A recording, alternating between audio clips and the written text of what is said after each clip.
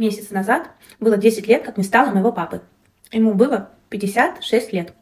И тут я задумалась о том, что многие мои знакомые и друзья уже не имеют живых отца. Мужчины очень рано уходят, намного раньше, чем женщины.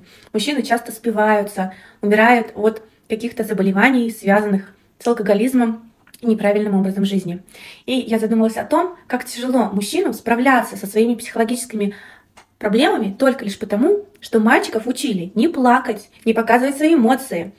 Страдать нельзя, нужно быть сильным. Но они же люди, и внутри каждого человека боль. Если ее не выпускать, то она разрушает изнутри.